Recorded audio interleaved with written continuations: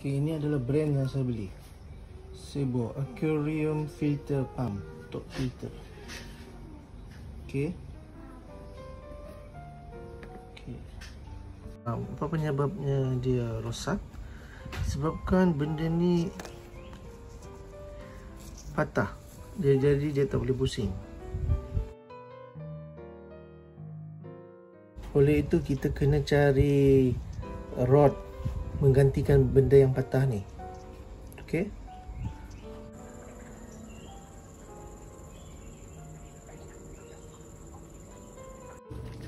Okey. Kita tukar yang lagi solid lah. Ha, yang benda ni. Ini lebih tebal. Jadi kita sekarang kita ada uh, dia punya kipas. Nama dia kipas dia kipas dia memang dah stick dengan magnet. Dengan magnet ni. Jadi benda ni dah stick lah tak boleh pusing. Jadi apa yang kita perlu buat adalah kita kena find something. Kita kena cari besi atau rod ni. Untuk kita masukkan dalam ni. Okay sorry. Masukkan dalam ni dan benda ni boleh pusing ke atas rod tu. Ah, okay. jadi apa yang kita perlu buat kena glue benda ni. Ni ok ada gam gajah. Masukkan sikit. Sikit. Ok sikit. Ok je. Lepas tu masukkan ni. Alright cun ok masukkan ni je. Ok biarlah. Tunggu. Ha. alright dah tunggu dalam satu minit Okay, next kita masukkan dalam ni balik. Kipas ni dan juga dia punya rod masukkan ke dalam. Uh, okay, masukkan dalam. Jadi benda ni kita boleh pegang. Benda tu please, pusing. Ah, ni dia punya. Okay.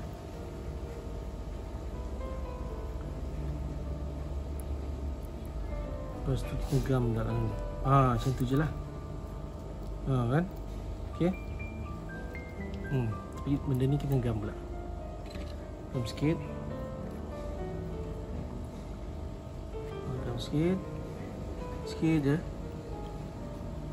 Oh, okay Okay, cucuk Okay, bagi dulu. Tegam sikit ke sini. Okay, dia keras. Alright. Ha, Jadi, okay, macam tu je lah. Ha. Bila kita pegang benda ni ha, Jadi kita boleh pusing Alright. Okay, okay, rasa dah okay. Okay, bila kita pegang pula kipas ni, kita boleh pusing kat sini. Maksudnya kat dalam ni ada silinder. Uh, alright, kita cuba. Okay, kita on. Tak on kan? Tak ada bunyi. Okay, so kita tak masukkan lagi. Okay, kita off dulu. Kita off dulu kan.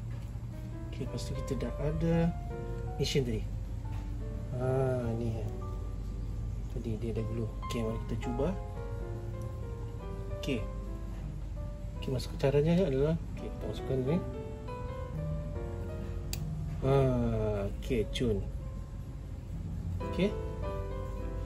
Kemudian ni dah kita try on pula. Ha, dah pusing. Okey, biar pusing.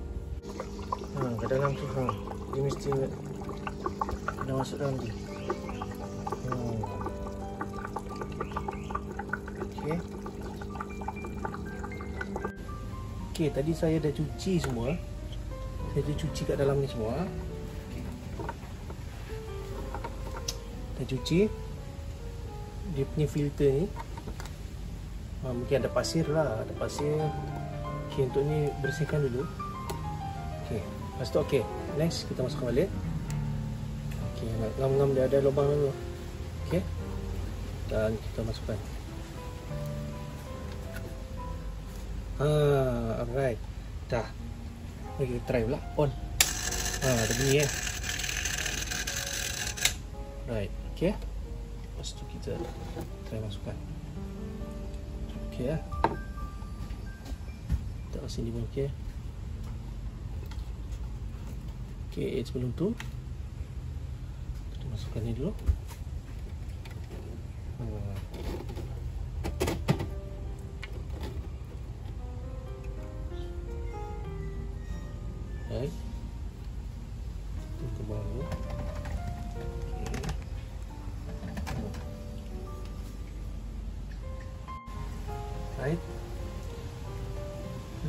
Baik. Semua susun baik. Masukkan sikit dalam air ok kita try on. Ah, oh salah. Ok ok jadi Nori dia ada keluar. Nice ok uh, additional information. Ok rajin-rajinlah tukar atau cuci dia punya kapas kat bawah ni ya. ha, cuci. Masuk air masuk laluan air ni. Ok dari bawah ni ok dia akan sedut dari sini. Ha, oh. sedut dari sini. Akan keluar ke sini okay.